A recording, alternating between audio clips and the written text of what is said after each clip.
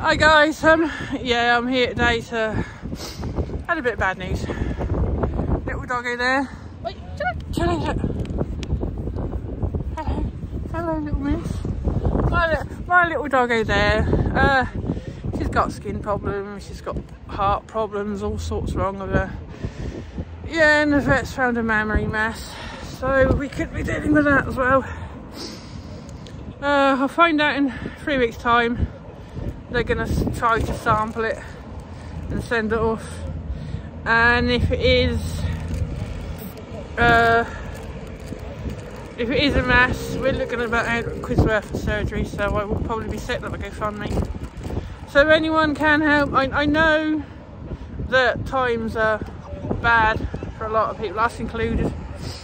So anyone can help, I'd appreciate it. So if we have to go down the surgery route with her, I mean, I'm hoping it's benign. There she is, look. Hello. Hi.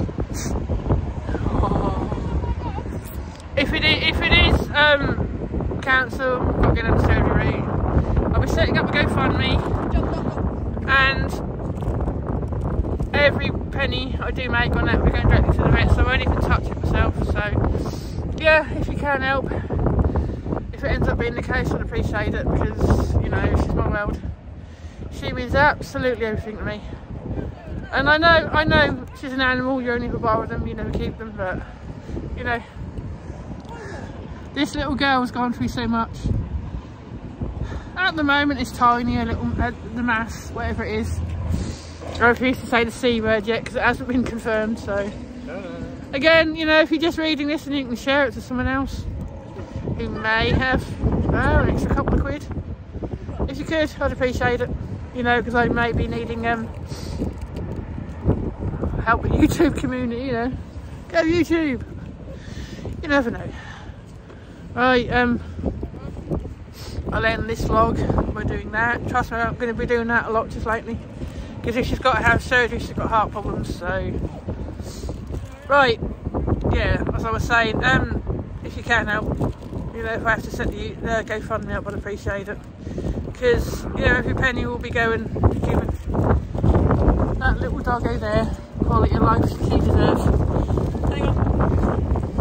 Oh, sorry, guys. Cello? Look at that face. Cello dog. Cello dog. Hang on. Hang on. There we go. Oh, oh that was close up sniffies. That was funny. He's up. Jelly, he's up. yeah, as I say, she will be she'll be joining me a lot more from now on because I'm making memories. So you know, we don't know how long we've got with her. You don't know any pet.